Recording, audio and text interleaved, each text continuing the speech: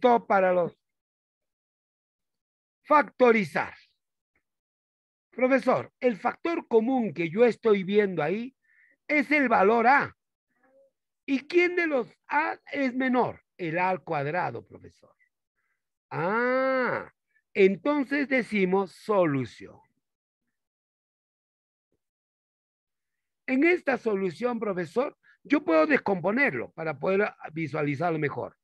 A cuadrado por A la cuarta, menos 3A cuadrado por A cuadrado, más 8A cuadrado por A, menos 4A cuadrado. ¿Por qué he sacado con el menor? Para factorizarlo. Si yo saco el A cuadrado de todos los factores, entonces, profesor, tenemos el A cuadrado y del primero queda A la cuarta, del segundo queda 3A cuadrado, del siguiente 8A y del último 4. ¿Hay otro factor común, profesor? Ya no hay.